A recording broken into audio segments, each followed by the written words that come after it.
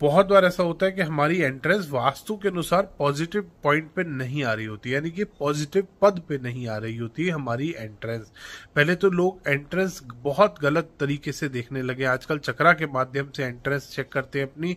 आपको नहीं करनी दोस्तों। आपको वास्तु पुरुष मंडल जो बनता है वीपीएम भी बोला जाता है इसको उसके हिसाब से भी अपनी एंट्रेंस को चेक करना है। वो ही एक इकलौता सही मेथड है एंट्रेंस चेक करने का।